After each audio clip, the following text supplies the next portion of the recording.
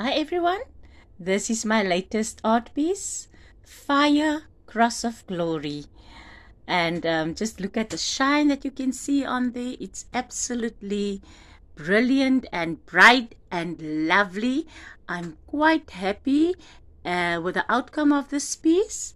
And yes, I just wanted to share this with you. Um, so have a blessed day. Shalom.